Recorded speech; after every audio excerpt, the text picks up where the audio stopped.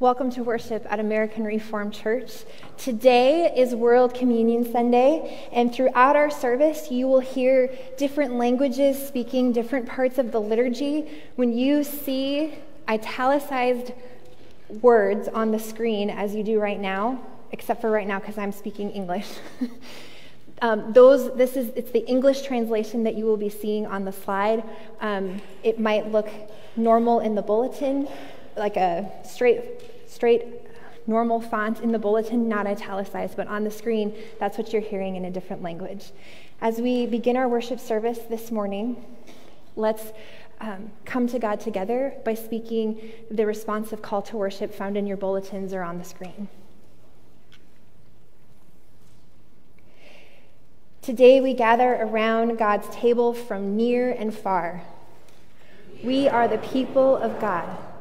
Though we differ in language, custom, and tradition, we are sisters and brothers in Christ.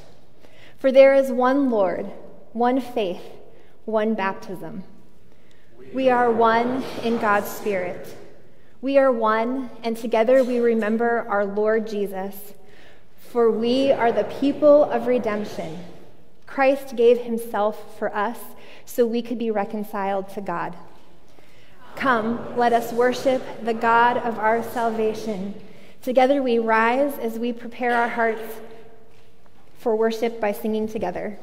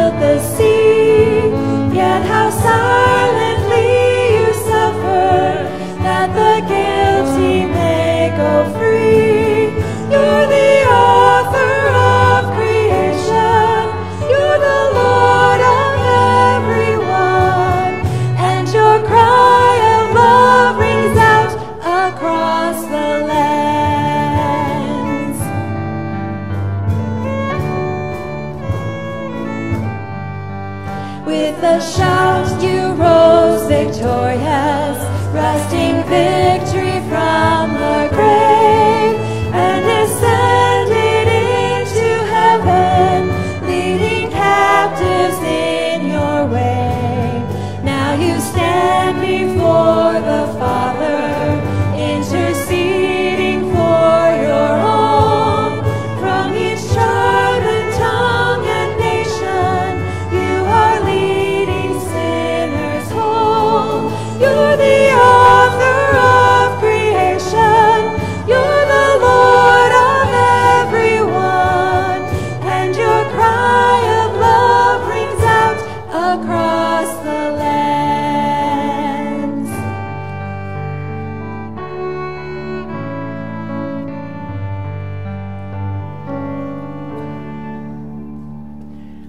To this place to worship God, and God greets us and welcomes us with these words.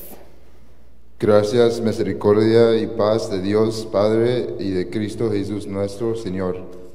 Friends, the peace of Christ be with you. Please take a moment to share a sign of that peace with each other this morning.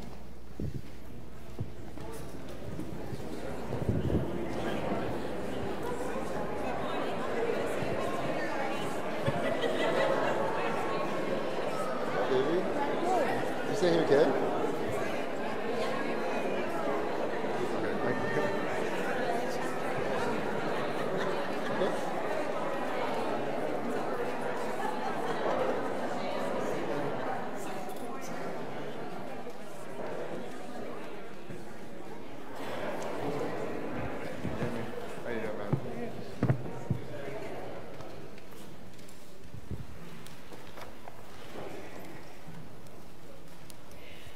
When God's presence comes to us, we are flooded with God's grace, creating a relationship with us in Christ in which honesty about our sin is welcome and safe.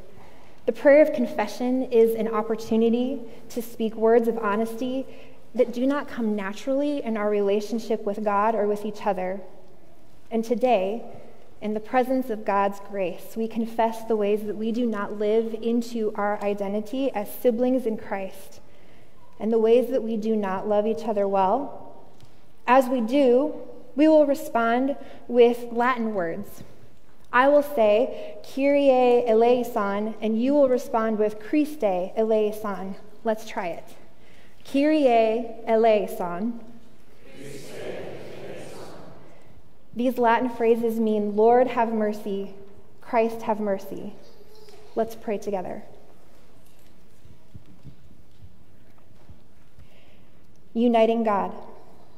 Nos has reclamando co- como tu pueblo y estamos unidos como tus hijos. Sin embargo, fallamos en vivir en unidad con los demás y con ustedes.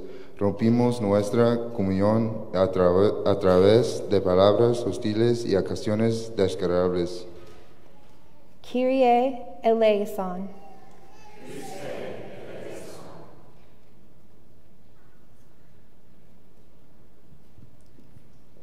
हम अस्थिर रहते हैं जब हमें कुछ करना चाहिए हम बैर रखते हैं जब हमें शांति रखनी चाहिए और हम अपने दुश्मनों से बैर रखते हैं जबकि हमें उनके साथ रोटी तोड़नी चाहिए Kyrie eleison. Nos cerramos de aquellos que no somos, son como nosotros. Amamos con condenación, juzgamos y condenamos. Kyrie eleison.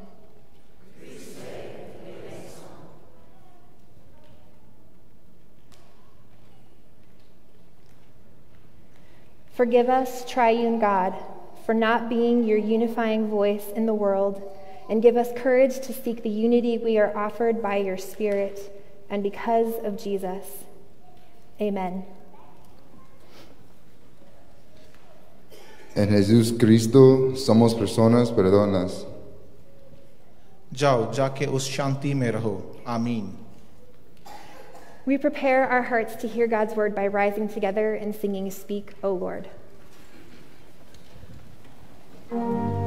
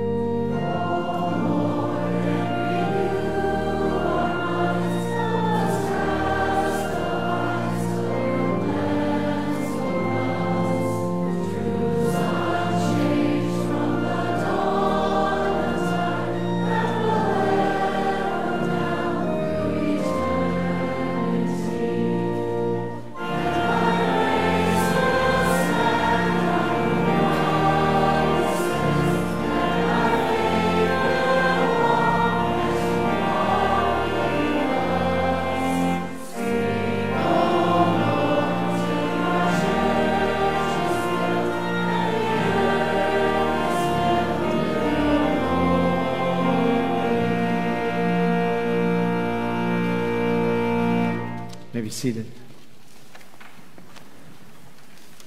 Please uh, pray with me.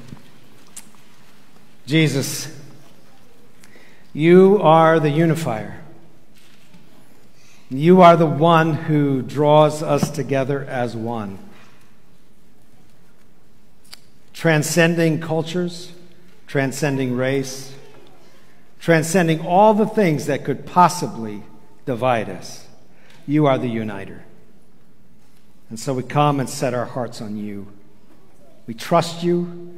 We love you. We choose because you've chosen us. We love because you loved us. We trust because you trusted yourself to us and gave yourself for us. And so we come asking for you to speak. Speak to us. In your name, amen.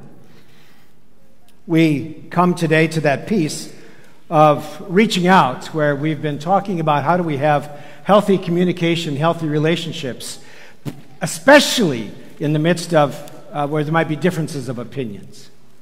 We've talked about our identity, who we are. That's a gift.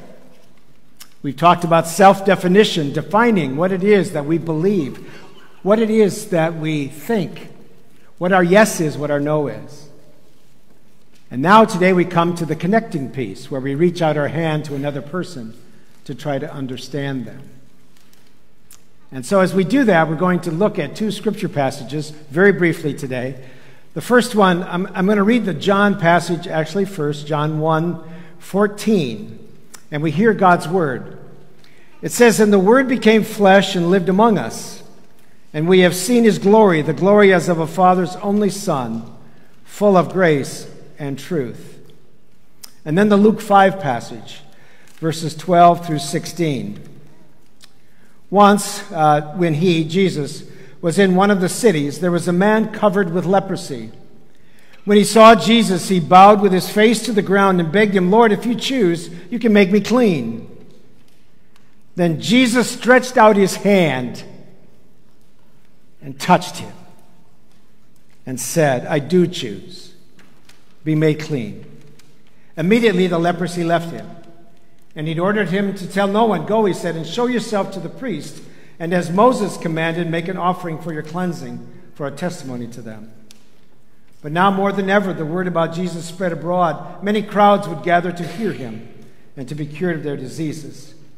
But he would withdraw to deserted places and pray. This is the word of the Lord.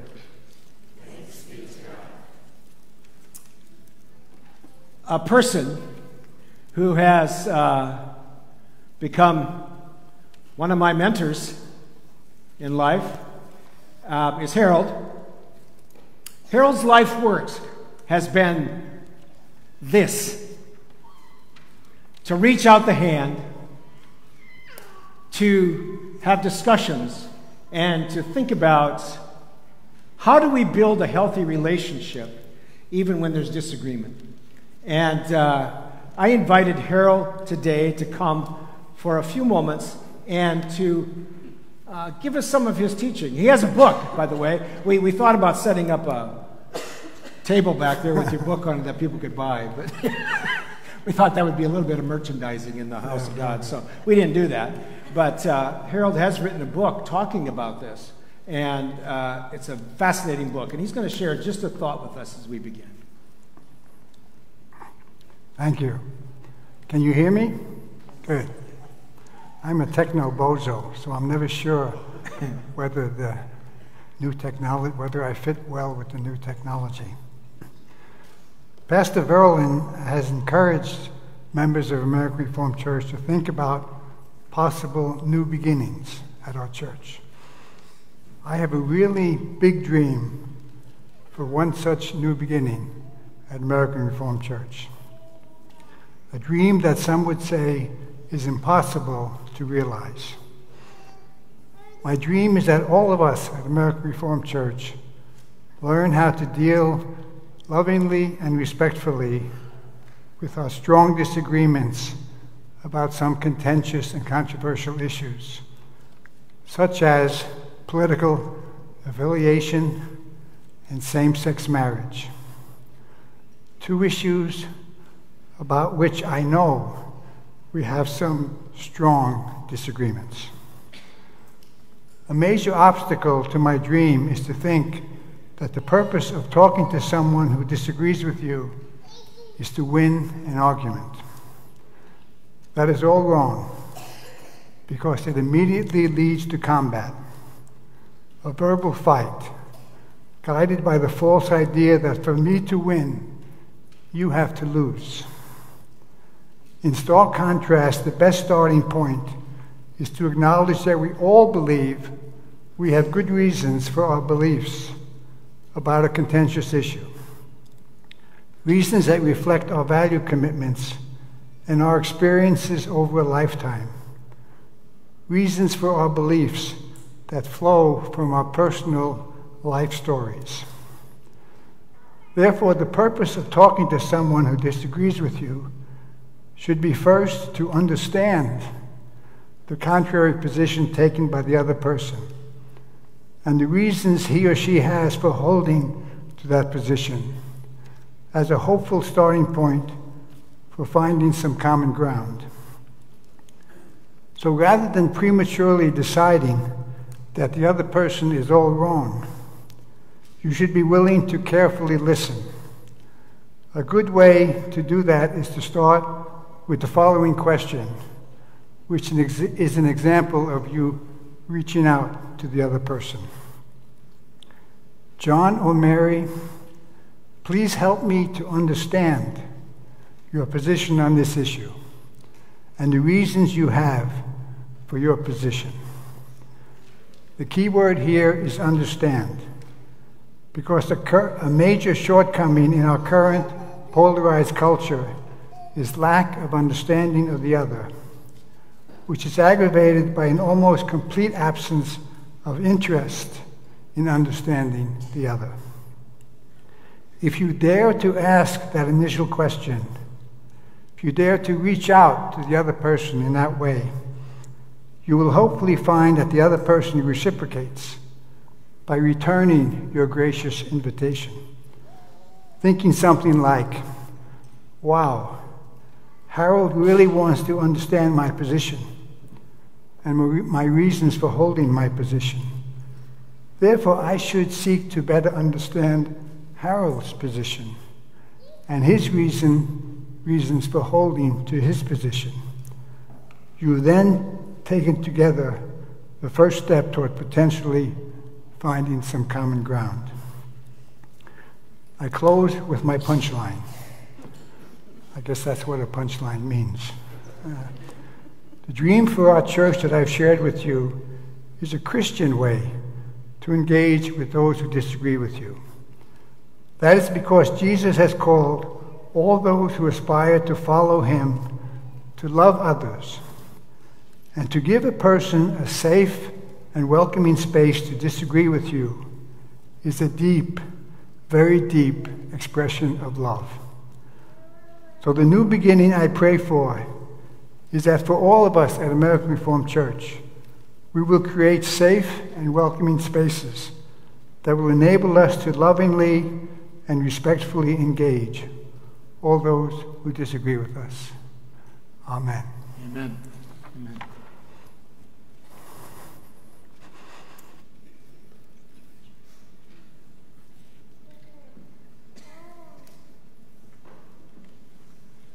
I think uh, Harold is talking, uh, when he talks about a principle, it's kind of the reverse golden rule.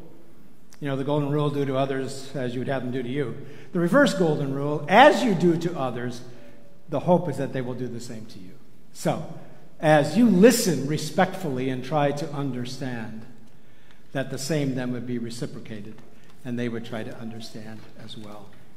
But today we're going to think about Jesus and uh, some were concerned that Rusty was negligent in his job by leaving a ladder up here, but he wasn't. Ashley asked him to bring a ladder up. There's an important truth in Scripture that I think helps us understand about reaching out our hand to other people.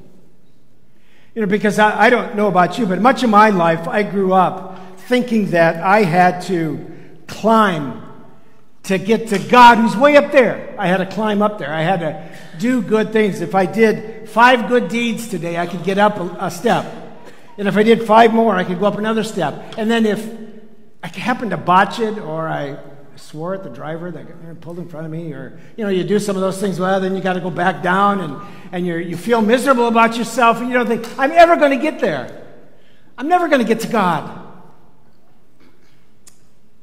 And the incredible truth about Christianity is that we don't have to do that at all because it tells us that God came down to us.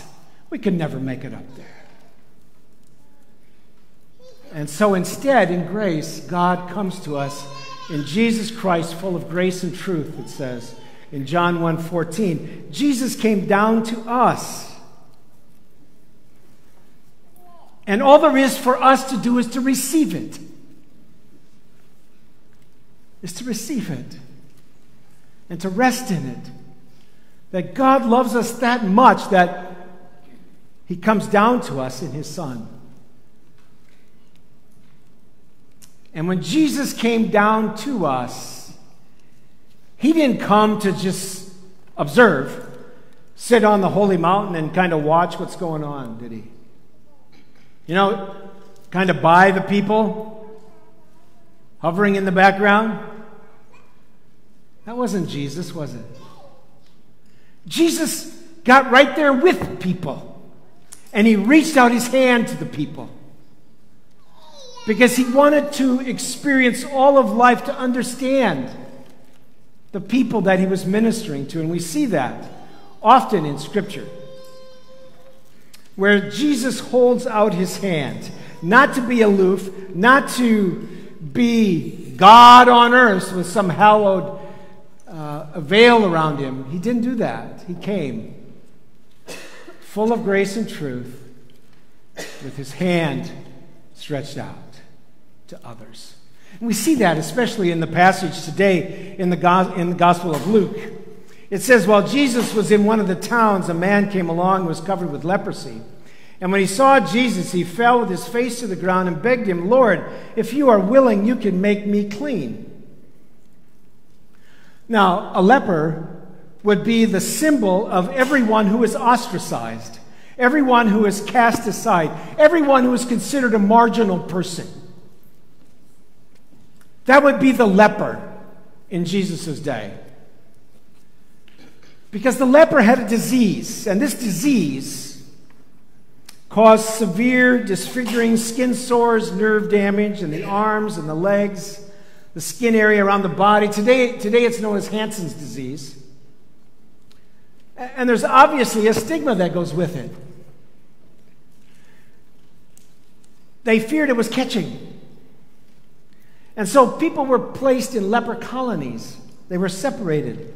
And if you went there, you lost your family, you lost community, and you would lose touch. Nobody's going to touch you anymore. Nobody's going to hug you, nobody's going to shake your hand for fear that they would catch it. And so they, they separated you. And you needed to stay a distance away. If you talked, you had to be 20 yards.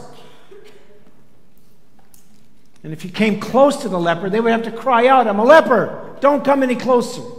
Stay away. And nobody touched them. No one would. And that day, in Luke, the man knew that Jesus was coming. And he saw him and he had to speak to him. He had to come close. He longed for Jesus' healing touch. Not by 20 yards, not by 20 yards away. No, he wanted to be with Jesus. Because no one would reach out and touch him. They were fearful. They were fearful of him. But in verse 13, the most incredible words are stated, but Jesus reached out his hand. He reached out his hand and touched the man. I am willing, he said, be clean. and the leprosy left him. He reached out his hand and touched the man. Against every moral law, against every religious law, against even health laws at the time, Jesus reached out his hand, not 20 yards away. He reached out his hand, he was with him and touched him. Perfect love. As Harold said, to be able to, to be able to define, but to be able to reach out your hand and have that connection to listen and try to understand the one who doesn't agree with you is love. Is love. Probably the greatest demonstration of love. And Jesus was tender and gentle. He could have just said words, be healed. But no, he reached out his hand and he touched the man. He touched him. And the touch can be healing a handshake, a hug, a shoulder, an elbow, just some sort of physical human touch can be healing. And I don't necessarily mean that so much when I say reach out our hand. I, I, I mean it much more the way Harold said it that, that that's a, a way of trying to understand another person. To try to understand. When, and, and sometimes, you know, it's almost like touching, you know, when we get into these differences of opinions about certain things, it can become so heated the, the temperature can rise so greatly that we stop listening. And we don't listen to understand, we listen to defend ourselves. We're not really interested any longer in what the other person is saying. We become interested in trying to pound that other person down into submission about what we believe instead of truly listening.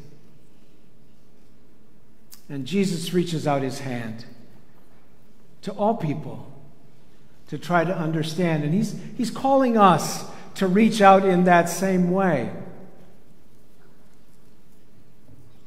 To reach out in the same way, especially to those that we disagree with. And it seems like some of those deepest disagreements come in the areas of politics and in the areas of uh, same sex marriage and all those things around us with that. And some of those can become so contentious. But I think as followers of Jesus, we're called to something, something totally so different that we're called to reach out our hand. We reach out our hand to understand. It even rhymes. We reach out our hand to understand. And then in understanding someone, when, when someone feels like they've truly been listened to, they feel loved. And then they will reciprocate, and you can share how you believe in the, and the, the tone of the conversation stays here, not it doesn't escalate. We reach out our hand to understand. Spiritual maturity comes with Jesus as our guide. Just think about that. We've talked about identity. Think of Jesus. Jesus had his identity.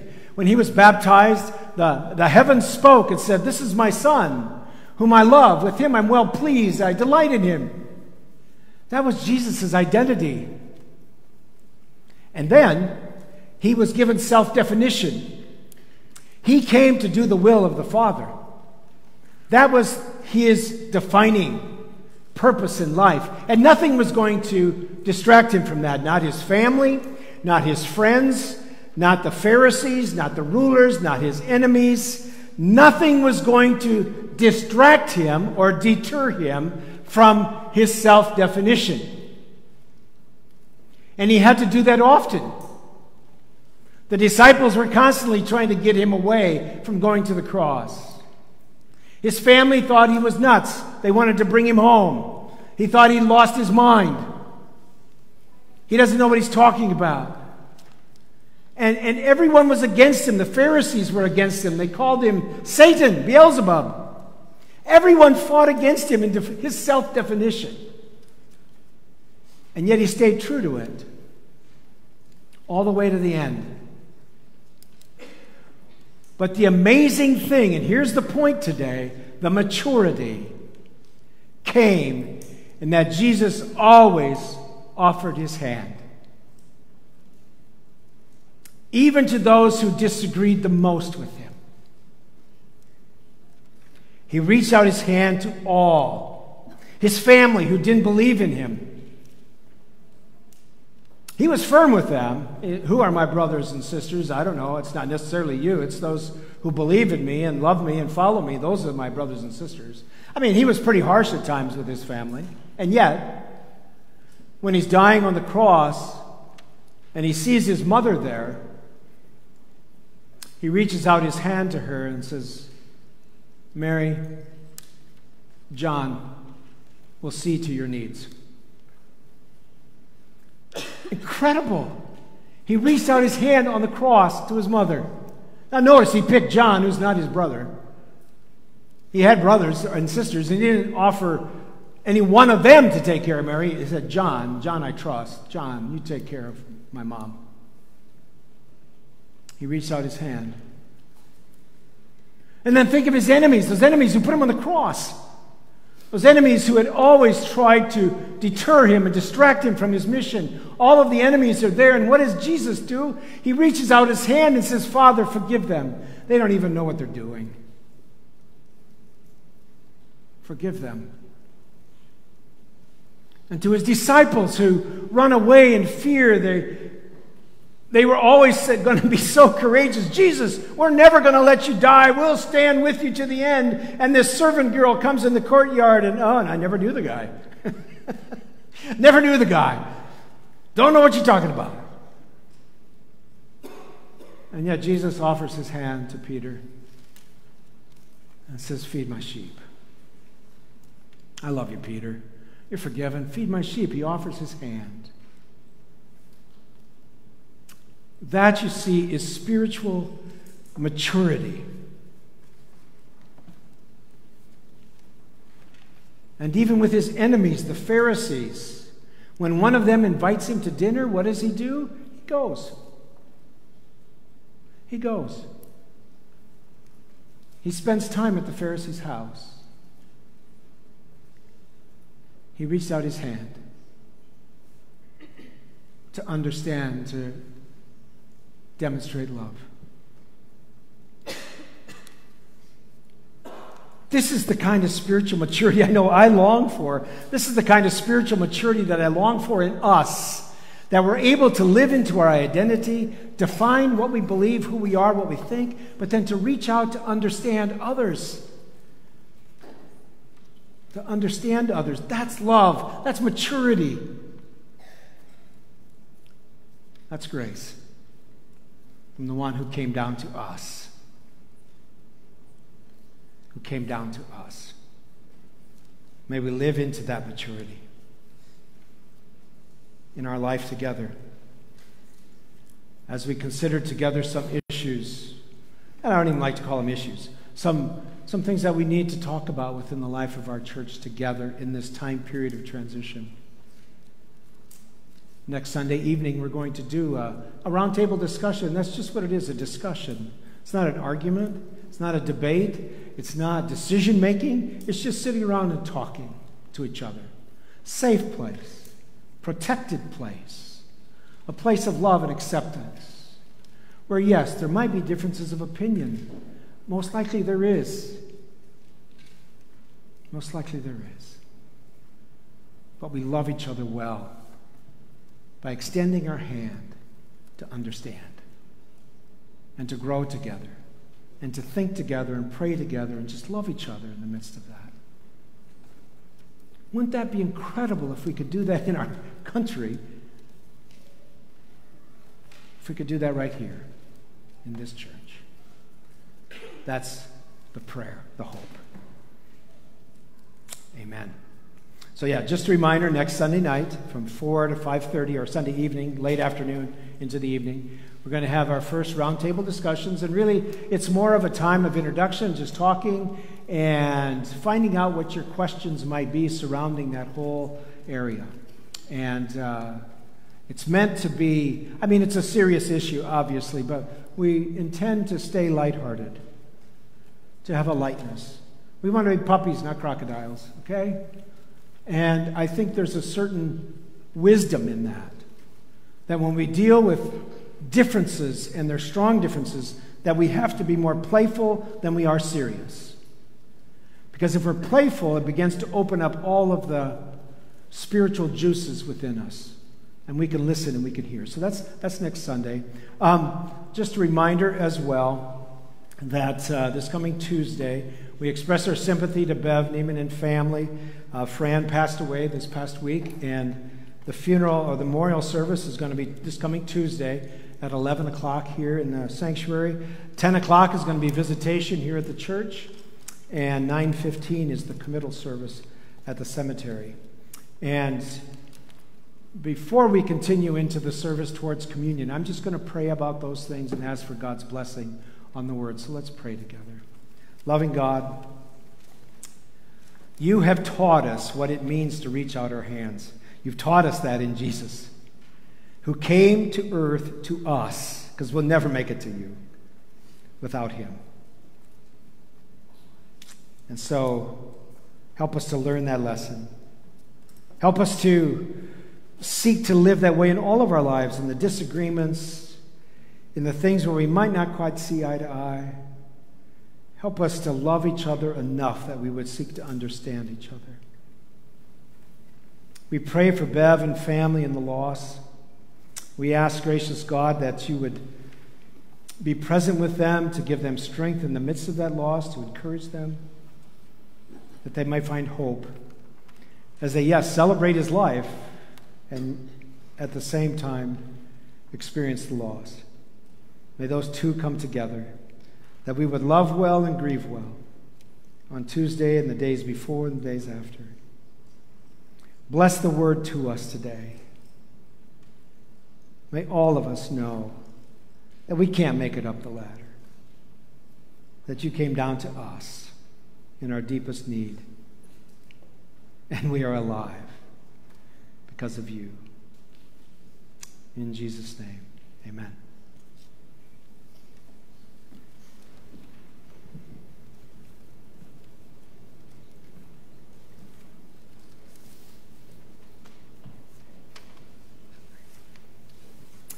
Beloved in the Lord Jesus Christ, the Holy Supper, which we are about to celebrate, is a feast of remembrance, of communion, and of hope. While we were going to bed, while we were asleep, Christians on the other side of the world gathered around signs and symbols of God's grace in Jesus, the bread and the cup. As the globe shifted, Christians in China, the Middle East, Europe, Africa gathered around the table, breaking bread and drinking wine. Beyond country and culture, those celebrating today span many creeds and confessions Presbyterian, Methodist, Catholic, Lutheran, Pentecostal, Anglican, Baptist, and thousands of others, and even those without denomination or label. This morning, we join with everyone everywhere in this feast, recognizing that God's grace does what we find so hard to do to break down and reach across barriers. God's grace unites us as one family. If you are present here this morning, you are welcome to receive these signs of God's grace. Children are welcome to receive communion at the discretion of parents and guardians. If there are children present who do not yet participate in communion, we invite them to come forward for a blessing with their arms crossed in front of their bodies. There'll be two stations for communion, one on the right side and one on the left. When you come forward, take a portion of bread and dip it in the cup. If you wish to remain seated, an elder will come to you. Anyone who desires to receive anointing of oils and prayers for healing may move to that station in the center aisle at any time. As we partake of the feast, you are invited to sing with the worship team who will lead us in song. Let's pray together. The Lord be with you. Lift, Lift up, up your your- hearts. Let us give thanks to the Lord our God. It is right to give our thanks and praise. Holy and right it is, and our joyful duty to give thanks to you at all times and all places. O Lord, our Creator, Almighty and everlasting God. U hebt de hemel gemaakt en heel het leger erin, de aarde en al wat daarop is. U hebt ons het leven en het bestaan geschonken en u onderhoudt ons in uw voorzienigheid. U hebt ons de volheid van uw liefde getoond door uw Zoon Jezus Christus in de wereld te zenden. Het eeuwige woord, die voor ons en onze zaligheid mens geworden is. Voor de kostbare gave van deze machtige Verlosser, die ons met u verzoend heeft, prijzen en aanbidden wij u, o God. With your whole church on earth and with all the company of heaven, we worship and adore your glorious name. Holy, holy, holy,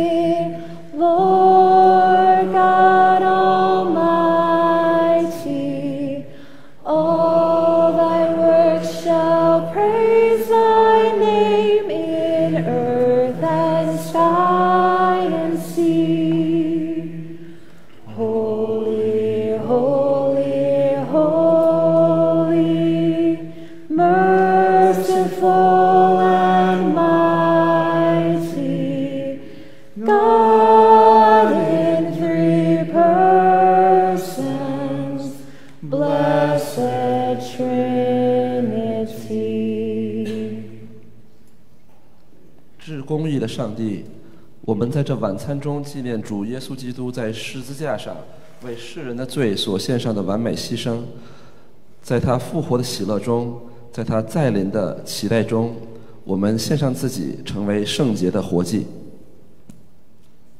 Together we proclaim the mystery of the faith. Christ has died. Christ is risen. Christ will come again. Zend uw Heilige Geest op ons neer. Dat bidden wij u. Opdat het brood dat wij breken en de drinkbeker waarover wij de dankzegging uitspreken, voor ons een gemeenschap aan het lichaam en bloed van Christus mag zijn. Geef dat wij, samengevoegd in Hem, mogen komen tot de eenheid van het geloof en samengevoegd in Hem in alles mogen toegroeien naar Christus onze Heer. En zoals uit vele graankorrels één en hetzelfde meel gemalen en één brood gebakken wordt, en uit vele gepeste druiven één en dezelfde wijn en drank vloeit, geef, o Heere, dat uw ganse kerk spoedig van het uiterste van de aarde samen vergaderd mag worden in uw koninkrijk. Even so, come, Lord Jesus.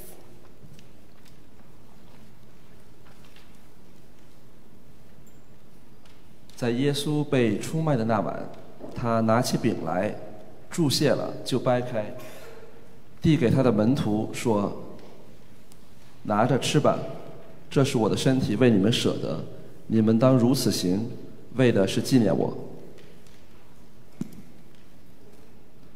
Evenzo nam hij ook de drinkbeker na het gebruiken van de maaltijd en zei: Deze drinkbeker is het nieuwe verbond in mijn bloed, dat voor u vergoten wordt tot vergeving van zonden.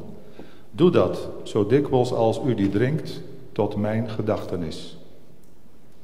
Come, for all things are now ready.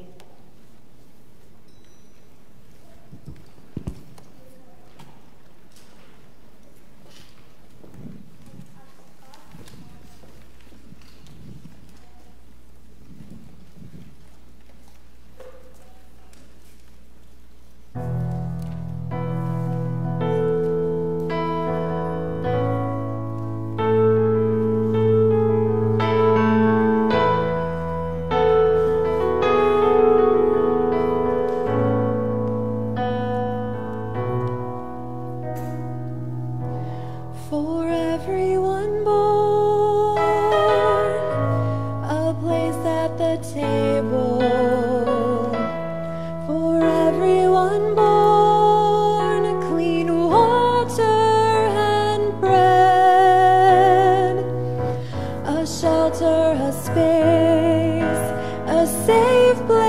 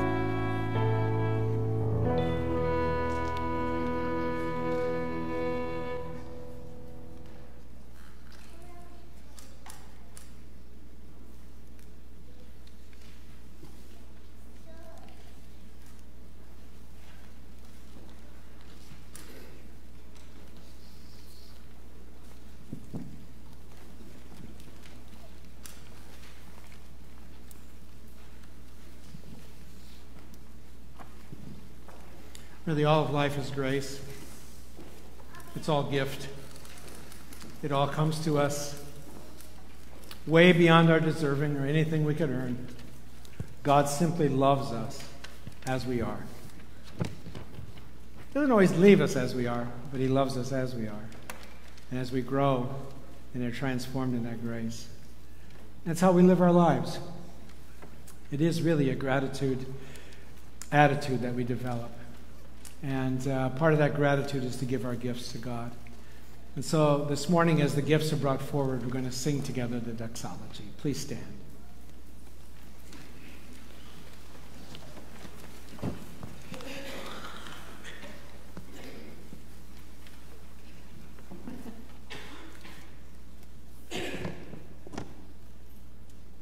I pray. What am I supposed to do? Oh. Just can't find good help. Um, we're going to enjoy a time of prayer together, so I'm actually going to invite you to be seated for just a minute.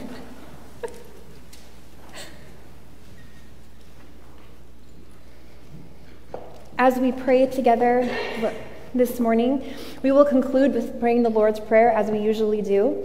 Um, however, as we pray, the Lord's Prayer will be said very slow because we will be joined in a concert of prayer, hearing multiple languages, praying the Lord's Prayer at once. So listen for the English and follow that slow cadence. Let's pray together. Bless the Lord, O my soul, and all that is within me. Bless his holy name. धन्यवाद परमेश्वर यीशु मसीह हम तेरी आ, तेरी जन्ना करते हैं कि तूने हमें यह आज का दिन दिया और हमें इस वचन को पूरा किया। कि तूने हमें ज़मीन पे और आसमान में लोगों से जोड़ा। तूने हमें जीवन की रोटी दी और अपने आप में नया बनाया। आज हम तुझे अपने सुपुर्द करते हैं, परमेश्वर, और अपने जीवन को तेरे साम्राज्य का हिस्सा बनाते की इच्छा रखते हैं। और तेरे प्रेम को, जैसा कि तेरा प्रेम है, वो हमारे थ्रू, जैसे और लोगों में जाना जाता है, वैसे जाना जाए, परमेश्वर। और और लोगों में रचे। इसलिए यीशु मसीह के नाम से हम ये सब तेरे नाम से मांगते हैं adom nyankopɔn yɛtrɔntrɔm wɔ ɛwɔ deɛ a wode ama yɛn ɛne ɛne bɔhyɛ a wahyɛ ama yɛn ha wama yɛn ayɛ korɔ wɔn a wɔwɔ ɔsoro ahemman mu ne wɔn a wɔwɔ asase so ayɛ korɔ wama yɛn aduane adi a ɛyɛ aboodo a ɛma nkwa. Na wahyɛ yɛn den sɛnea yɛbɛtumi ayɛ w'adwuma seesei. Yɛde yɛn ho ma wo ɛna yɛsrɛ wo sɛ yɛn daadaa abrabɔ ɛbɛyɛ wo hwanhen mu no baako bi. Ɛna ɔdɔ a yɛwɔ no ɛbɛyɛ wo dɔ. Afa yesu Most gracious God, we praise you for what you have given and for what you have promised us here. You have made us one with all your people in heaven and on earth. You have fed us with the bread of life and renewed us for your service. Now we give ourselves to you and we ask that our daily living may be part of your kingdom and that our love may be your love,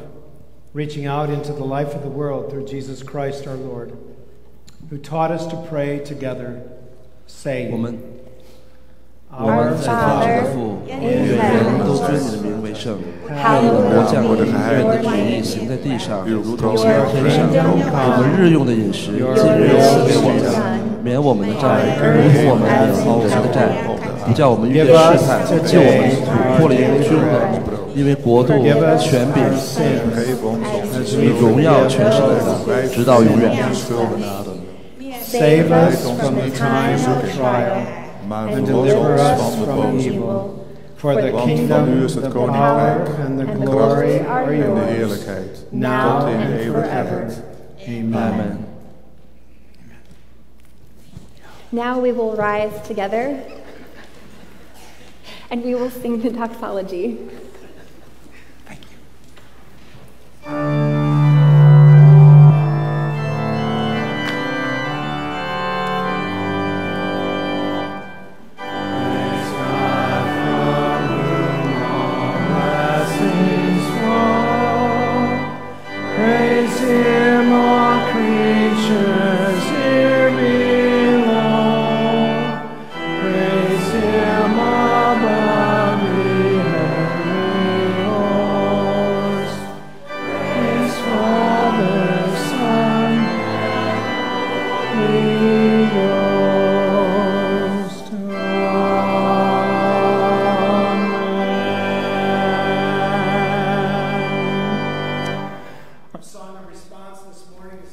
There is no east or west. And we're going to stand to sing that together.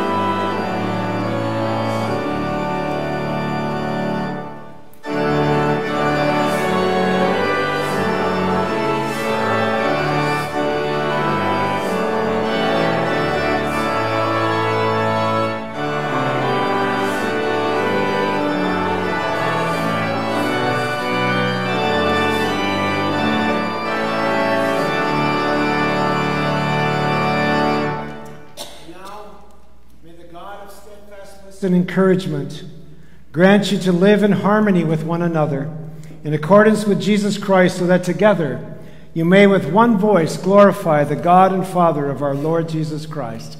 Truly, Alleluia. Amen.